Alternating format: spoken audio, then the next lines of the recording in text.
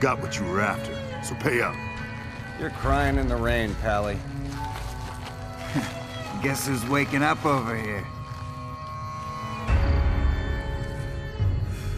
Time to cash out. Will you get it over with? Maybe cons kill people without looking them in the face. But I ain't a fink. Dig? You've made your last delivery, kid. Sorry you got twisted up in this scene. From where you're kneeling must seem like an 18-carat run of bad luck.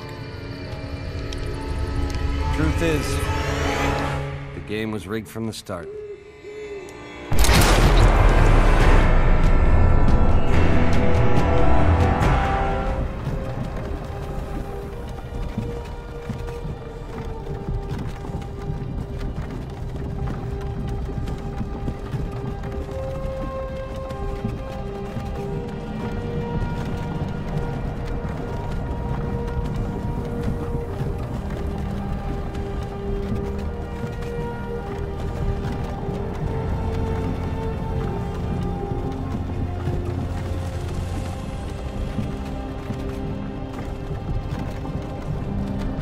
Hey, you. You're finally awake.